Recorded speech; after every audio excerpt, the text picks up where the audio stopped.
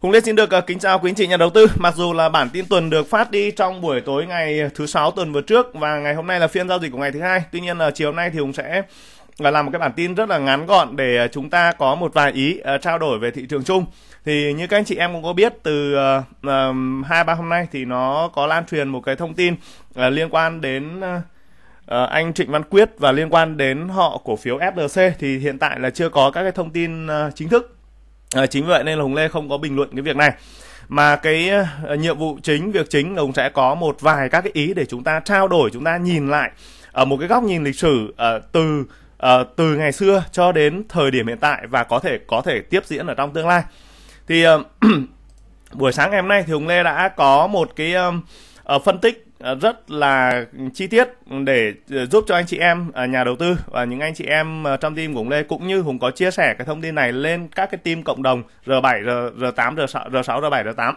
Thì đầu tiên chúng ta sẽ nhìn lại lịch sử của năm 2012. Khi đó Bầu Kiên bị bắt thì giá của cổ phiếu ACB rơi từ vùng 8.5 về vùng 4.5. Thì thực tế cái giá đấy đây các anh chị từ vùng 8.5 và nó rơi về vùng à, 4.3 đây 4.5 thì thực ra bản chất là cổ phiếu chia nên là mới có cái giá này. Còn cái thời điểm đó hùng nhớ không nhầm thì cổ phiếu ACB đâu đó nó có khoảng trị giá khoảng tầm ba mươi mấy ngàn một cổ phiếu á đó mà nó rơi xuống về đây. Như vậy là uh, chúng ta cũng thấy rằng là uh, là là là là cổ phiếu đã bị giảm hơn uh, gần như là mất khoảng tầm 50% thị giá. Và sau đó thì từ vùng 4.3 và chúng ta uh, nhìn lại đến bây giờ đó chúng ta nhìn lại đến bây giờ ACB uh, ờ, sau những cái thương vụ gọi là uh, khủng hoảng đi cứ nói vậy đi thì chúng ta có vùng giá hiện tại của ACB đang um, có khoảng vùng 3233 như vậy là từ vùng 3.5, 3.4 mà lên đến 33 thì các anh chị cũng có thể thấy rằng là gì? Giá trị của doanh nghiệp nó sẽ về lại đúng theo những cái gì mà nó đang có. Đó. À, rồi, một cái hình ảnh thứ hai mà chúng ta có thể nói đến là cổ phiếu ờ, uh, Bắc Thắm, Hà Văn Thắm thì uh, bác này bị bắt năm 2014 và từ đó thì chúng ta có thể nhìn lại mã cổ phiếu OGC là một cái mã cổ phiếu mà đã được Hùng ờ, phân tích ở trong trong trong trong giai đoạn vừa qua.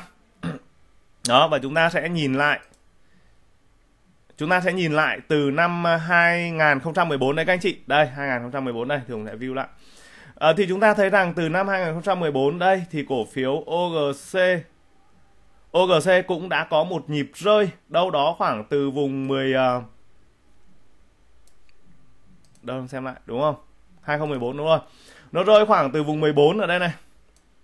Này năm 2014 rơi từ vùng 14 mà đến đến cái thời điểm giá thấp nhất của nó là khoảng 1.2 các anh chị 1.2 đó, đây này, khoảng tầm tầm 1.2 Vâng các anh chị, rất là kinh khủng 1.1 1.2 gì đây. Đó Tức là sau một cái cái cái cái khủng hoảng như vậy thì cổ phiếu này đã rơi về 1.2 và chúng ta thấy rằng là từ vùng 14 nó rơi về vùng 1.2 và kể từ vùng 1.2 đó thì thì sao? Thì bắt đầu là chúng ta có những cái cái đoạn này thì chúng ta không nói lại nữa bởi vì trong quá khứ đó thì nó cổ phiếu nó sẽ xây nền tích lũy trở lại và đến thời điểm hiện tại là cổ phiếu đang à, kết phiên ngày hôm nay đóng cửa vùng 18.4 từ vùng 1.2 về vùng 18.4 ok một cái hình ảnh thứ hai về cổ phiếu OGC liên quan đến Bắc Thắm. À, một cái hình ảnh thứ ba liên quan đến BIDV Bắc Hà à, bị bắt năm 2018 và cổ phiếu BIT cũng lao dốc từ vùng 35 xuống vùng 16 và cũng mất 50% về thị giá. Ok, chúng ta sẽ uh, view lại cổ phiếu BIDV của năm 2018. Đây các anh chị. Uh, đây là một cái thương vụ mà BIDV đã gọi là gãy cánh đúng không các anh chị? Đó, BIDV gãy cánh. Đây. Uh, nó từ vùng 35 và nó cũng bị đạp xuống đến uh, tận vùng ở đây là vùng 16 đây các anh chị. Đó vùng 16 đây. Đây các anh chị nhá đây vùng 16 uh, ờ, và kể từ vùng 16 thì uh, Bit đã có một cái sự phục hồi và uh, một một cái trang kỹ thuật. Đó và nó nó cũng đã trả lại về những cái vùng giá trị thực của nó. Đó là ở vùng giá uh, 41.5 42 43 đó ví dụ như vậy. Thì như vậy là mà từ vùng à, ông cũng lấy ra đây tức là từ vùng à, 16 mà bây giờ hiện tại là quanh 43 như vậy là cũng tăng 168% không kể cổ tức các anh chị nhé không kể cổ tức. Đó thì à, đây cũng là một cái thương vụ mà đã xảy ra trong quá khứ. Và cái cổ phiếu thứ tư mùng dẫn dắt ra đây đó là chúng ta cũng có thể thấy lại là cổ phiếu T à, uh, TDH gần đây.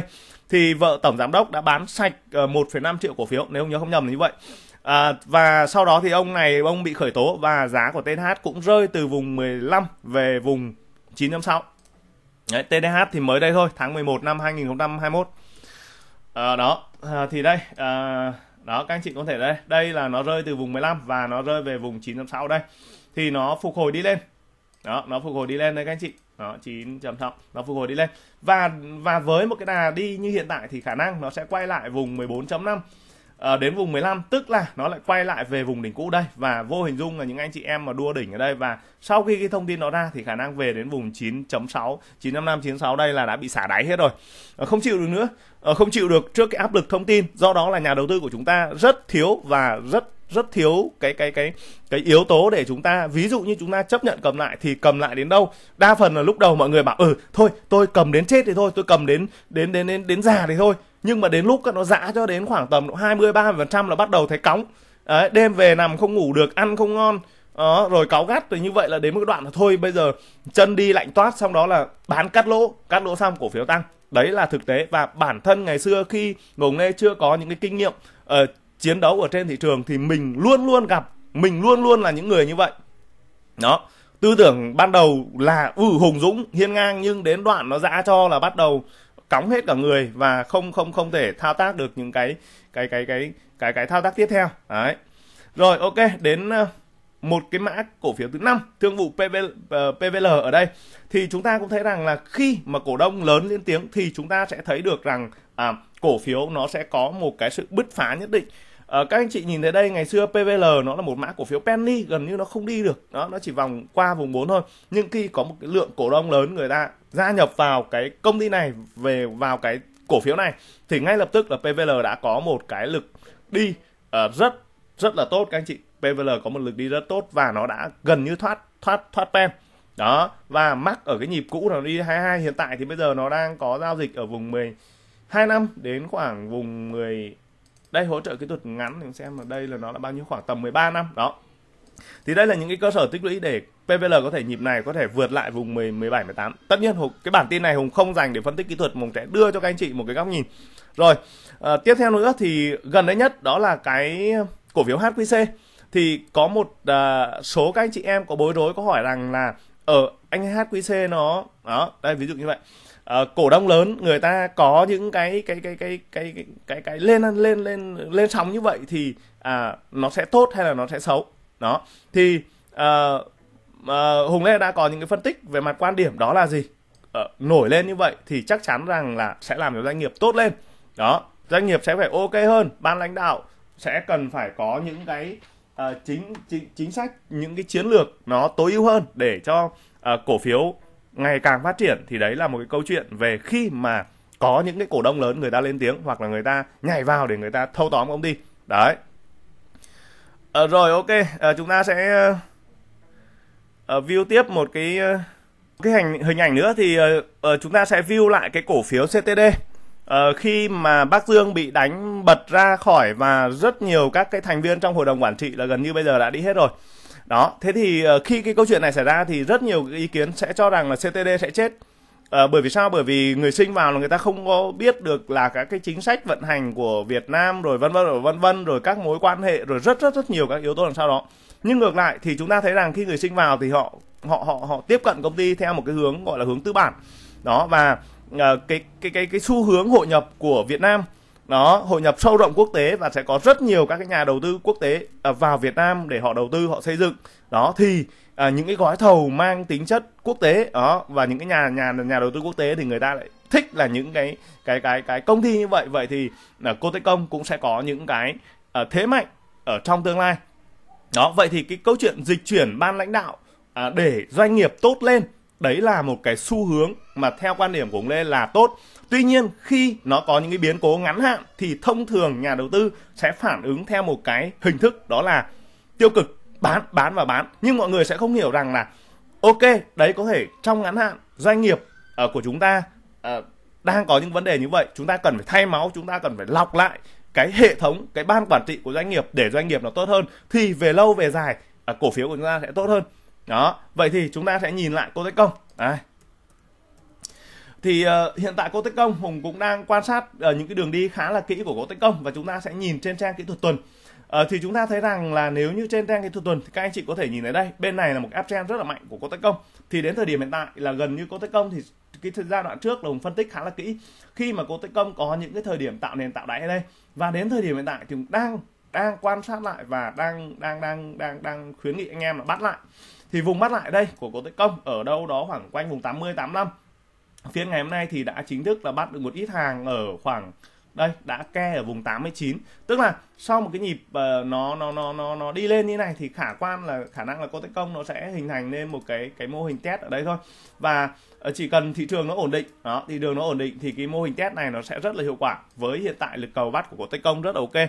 Và nhìn về mặt trend kỹ thuật trung hạn thì cô tấn công cũng đang đi vào những cái trend kỹ thuật rất là trung hạn. Đó vậy thì chúng ta sẽ không mua ở những cái vùng này. Các anh chị nhá vùng này chúng ta không mua. Nhưng đến vùng này chúng ta mua. Vì sao? Vùng này giá vốn nó đã rẻ đi rất là nhiều rồi và nó đang hội tụ những cái điểm kỹ thuật của nó rất là ok. Và uh, mô hình của cô Công thì chúng ta sẽ uh, nhìn lại sang một cái mã cổ phiếu Việt Viettel Post mà Hùng Lê đã dành tâm huyết để phân tích và đi theo con mã cổ phiếu này. Và nó đã hoàn thành những cái điểm test kỹ thuật đấy các anh chị rất là ok. Hiện tại thì đã đạt vùng 74 à, tuần này thì nó đang đạt được target 80 rồi và với xu hướng hiện tại sẽ hướng đến vùng 85 và xa hơn sẽ là vùng 90 như vậy thì cái câu chuyện là chúng ta lại lật lại vấn đề bên này. Đó vậy thì ai sẽ là người thành công và ai sẽ là người thất bại? Cổ phiếu nào sẽ là cổ phiếu tốt và cổ phiếu nào sẽ là cổ phiếu xấu? Không có cổ phiếu tốt không có cổ phiếu xấu.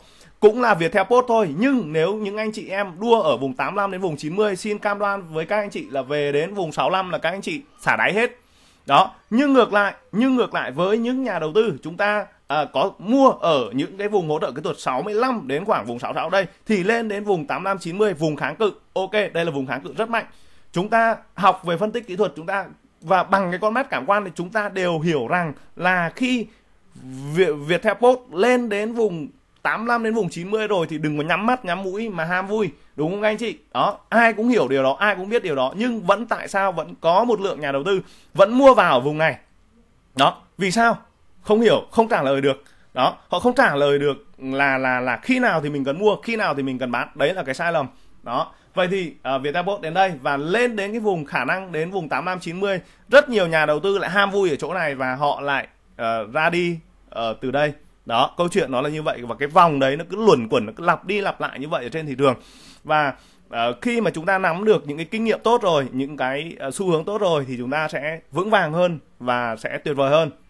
Rồi uh, bây giờ quay trở lại cái câu chuyện lình xình uh, đối với họ FLC thì bây giờ chúng ta sẽ chờ thêm các cái thông tin.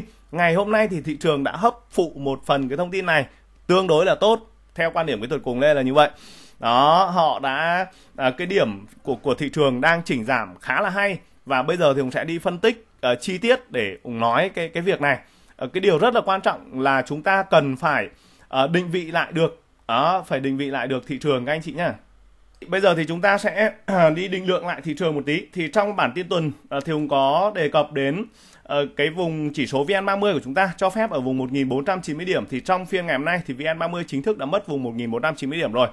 À, tuy nhiên ở trên góc độ kỹ thuật thì hiện tại cũng vẫn đang à, nhìn thấy có những cái nét à, sáng, có những cái nét sáng.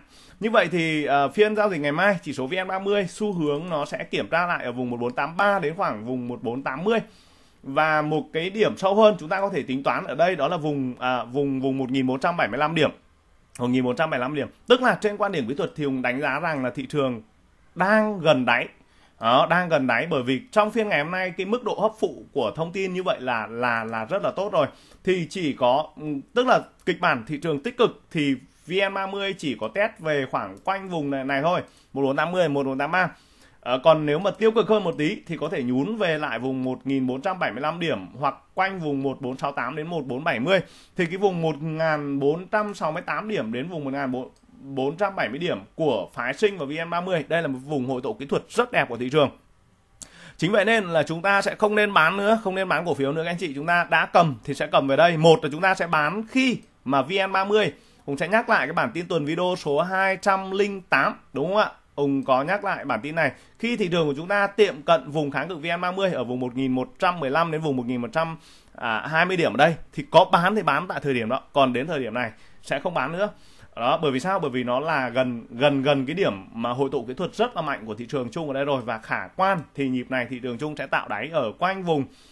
Đó ở các cái kịch bản ờ, ờ, trong phiên giao dịch ngày mai ở đây thì chúng ta sẽ quan sát thêm rất kỹ ở chỗ này.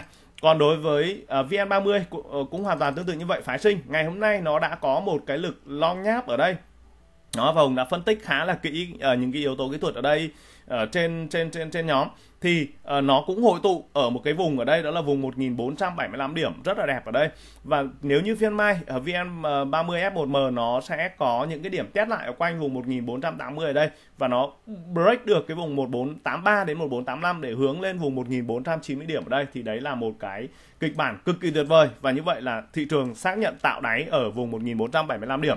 Còn nếu như ở trong cái tín hiệu kỹ thuật nếu như xấu hơn một tí xấu hơn một tí thì trụ Hùng vẫn tính ở đây đó là vùng 1468 đến vùng 1470 đây là cái vùng hồi tụ kỹ thuật cực kỳ mạnh của thị trường rồi. Đáy khả năng tất nhiên là không ai dám chắc được rằng là đâu là đáy cả nhưng chúng ta có có những cái cơ sở kỹ thuật và có những cái phán đoán. À, và những cái phán đoán đó sẽ dựa trên à, cái lòng của thị trường và dựa trên cái sự vận động của thị trường. Thì hùng đã à, dự báo rằng khả quan là cái vùng 1468 đến vùng 1470 là vùng hồi tụ kỹ thuật rất mạnh của phá sinh và VN30 còn xa xa hơn trên này đó là vùng 1475 điểm. Cùng với đó thì chỉ số VN Index VN Index ở đây các anh chị. Rồi VN Index đây. Thì trong phiên ngày hôm nay nó cũng à, bị thủng mất cái vùng 1485 điểm này. À, tuy nhiên cái điểm thủng nó không quá xa nó không quá xa và kết phiên thì nó đang ở vùng 1483 như vậy cũng xít soát ở vùng 1485 chính vậy nên hùng đã đánh giá rằng cái mức độ hấp hấp, hấp phụ cái thông tin uh, liên quan đến họ cổ phiếu FLC như vậy là tuyệt vời rồi là tốt rồi. Và hiện tại thì nó cũng đã có một cái nhịp lam uh, long nháp. Trong phiên ngày hôm nay thì nó chính thức là nó long lại. Thì 1485 ở đây vùng kháng cự à, hỗ trợ của phiên giao dịch ngày hôm qua thì bây giờ nó trở thành một kháng cự đây. Và khi nó long lên đây thì nó đương nhiên nó sẽ đạp lại. Và cái nhịp đạp này đang đang đẹp đang đẹp các anh chị. Nhìn thế này đang đẹp. Đó cái nhịp đạp này nó đang đẹp và nó đang nó đang nó đang đang đang đang đang chỉnh lại. Đó thì có hai cái điểm chỉnh kỹ thuật mà hùng sẽ quan sát trong phiên giao dịch ngày mai đó là vùng 1480 và sâu hơn đó là vùng 1473 và thời điểm hiện tại thì à, uh, VN Index cũng có một cái vùng hồi tụ kỹ thuật rất đẹp ở vùng 1468 đến vùng 1470 điểm. À, ok, bản tin chỉ làm ngắn gọn như vậy để các anh chị định vị được rằng mình đang đứng ở đâu trên thị trường. Thị trường đã gần có những cái điểm nhấn kỹ thuật nào để chúng ta cầm lại cổ phiếu hay chúng ta bán cổ phiếu ra. Và một cái nhiệm vụ rất quan trọng ở trên thị trường mồng lễ có chia sẻ với các anh chị đó là chúng ta định vị đúng, trúng, đủ xu hướng của thị trường thì chúng ta đã nắm được khoảng tầm độ à, trên 50% là thắng lợi. Đó, khi chúng ta phân tích được đúng như vậy à, và và và và và sau đó thì chúng ta phân tích được thêm ờ, đúng đủ cái điểm hỗ trợ kỹ thuật của cổ phiếu và điểm kháng cự của cổ phiếu thì như vậy đó là một cái điều rất là tuyệt vời. Uh, ok, uh, bản tin ngắn đến đây là hết và Uh, các anh chị có những cái quan tâm, uh, có những câu hỏi nào thì cứ comment ở bên dưới bản tin. Hùng Lê sẽ dành thời gian để trả lời các anh chị. Uh, thân ái chào tạm biệt và hẹn gặp lại tất cả anh chị em trong các cái bản tin ngắn tiếp theo nếu có.